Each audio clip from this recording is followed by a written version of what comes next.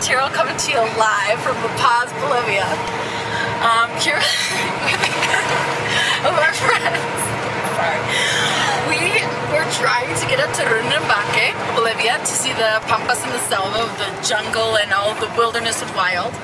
And we waited for several hours this morning at the airport.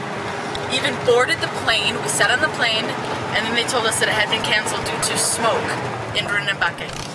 So, all the other uh, passengers on the plane decided to book flight- flights for tomorrow, but we decided to rent a Jeep.